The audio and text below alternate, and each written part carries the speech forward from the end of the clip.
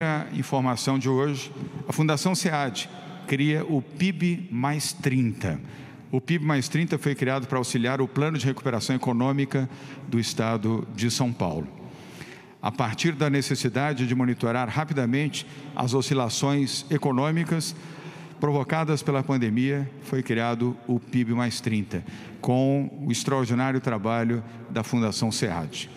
Trata-se de uma ferramenta de gestão inovadora que permite examinar as estatísticas da atividade econômica a uma velocidade muito superior às análises de PIB conhecidas até agora. Essa medida coloca o Estado de São Paulo no mesmo patamar de países como os Estados Unidos e a França, por exemplo, em relação a ferramentas de análise da evolução da economia.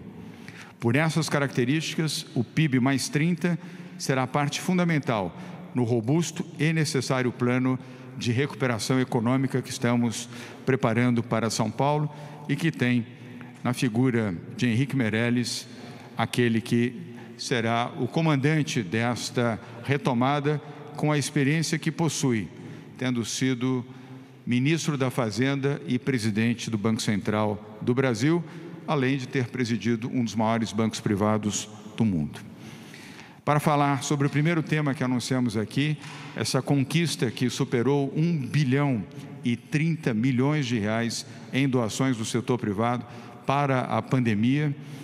Eu passo a palavra a Célia Parne, secretária de Desenvolvimento Social do Estado de São Paulo. Célia.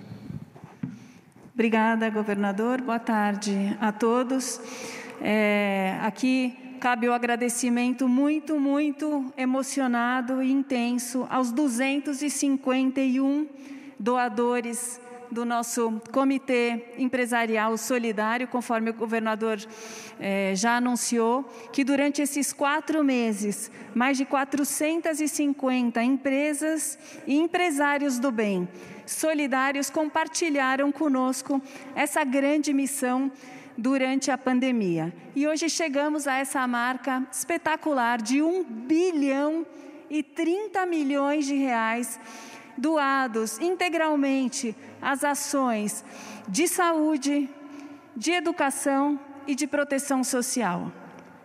Foram companhias inteiras, colaboradores, organizações da sociedade civil que aderiram a um projeto sério, bem elaborado, de credibilidade, de critérios claros, sempre explanados nessas nossas reuniões e muito bem orientado no sentido de atuar na população mais vulnerável nossa, do nosso Estado, famílias em situação de baixa renda, idosos também em residenciais acolhidos, menores e pessoas em situação de rua.